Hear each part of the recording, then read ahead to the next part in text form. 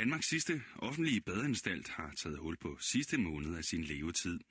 I sommer besluttede et enigt kultur- og fritidsudvalg i Københavns Kommune, kommune at lukke Sjællandsgades bad på Nørrebro. Til november slutter næsten 100 års historie så.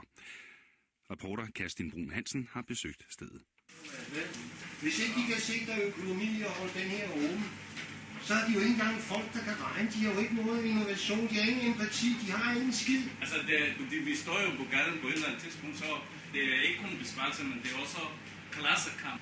Det kan sgu da ikke være klassekamp, når SF, når SF og Socialdemokratiet stemmer for, så det sgu da ikke være klassekamp. Man behøver ikke at have opholdt sig særlig længe på Sjællandsgade Bad for at opdage den frustration, der præger stedets brugere. Så har de sgu da ikke læst deres eget partiprogram, mand. Badeanstalten på Nørrebro har taget hul på sidste måned af sin levetid. Til november sparer kommunen nemlig støtten til stedet. Og det er det, som manden, vi hører her, sidder og sprutter af vrede over. Han hedder Tom Møller Jensen og sidder i badebukser på en vaskemaskine i badeanstaltens kaffestue. Her sidder også Jesper Lemkul, der er bademester og leder af Sjællandsgadebad. Bad. Ifølge ham er det især de allersvageste københavnere, der bruger badeanstalten. Der kommer, der kommer selvfølgelig mange pensionister her. Øh, både folkepensionister og førtidspensionister. Øh, så kommer der en masse almindelige mennesker, der bare skal have deres brusebad. Det kan være indvandrere, det kan være arbejdsløse. Du kan kalde dem den underklasse, som er i København. Men selvom det altså primært er de ressourcesvage københavnere, der bruger badeanstalten i dag, så var den i sin tid tiltænkt et bredere publikum. Da Sjællandsgade Bade blev oprettet tilbage i starten af 1900-tallet, havde mange lejligheder i kvarteret nemlig ikke deres eget bad. Som et tegn på den allertidligste velfærdsstat anlagde staten derfor badeanstalten, så Nørrebros beskidte arbejdere kunne få sig et bad. Siden har både samfundet og badeanstaltens funktion ændret sig.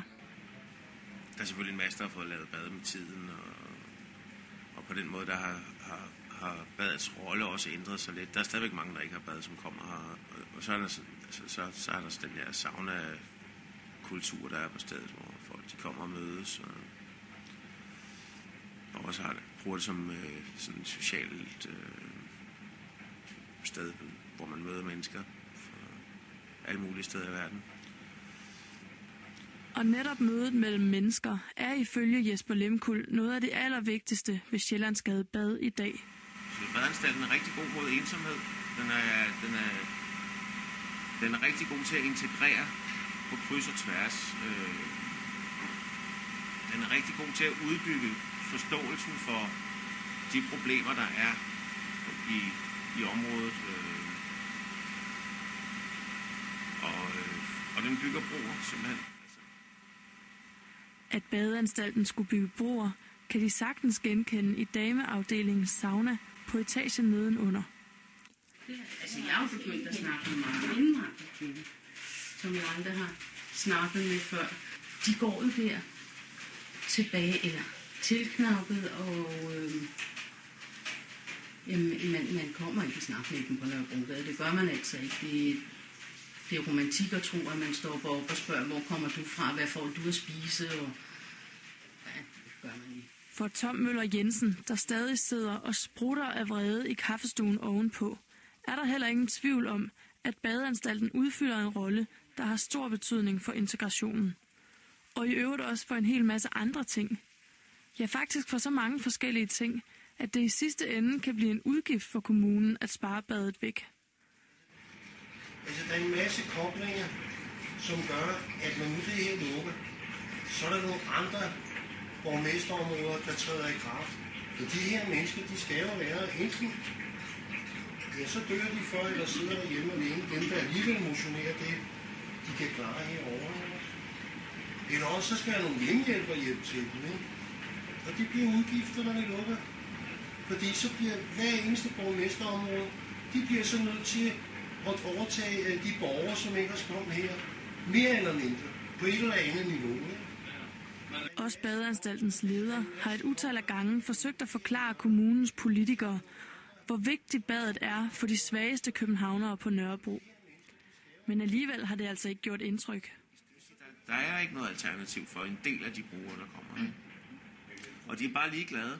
Og det, og det synes jeg har været rystende i den her proces. Det er, hvor skide ligeglade de har været. Og de har hældt vand ud af ørerne omkring, hvor dårlig økonomien er, økonomien er. Men det er blevet sådan en mantra her i landet, hvor dårlig økonomien er.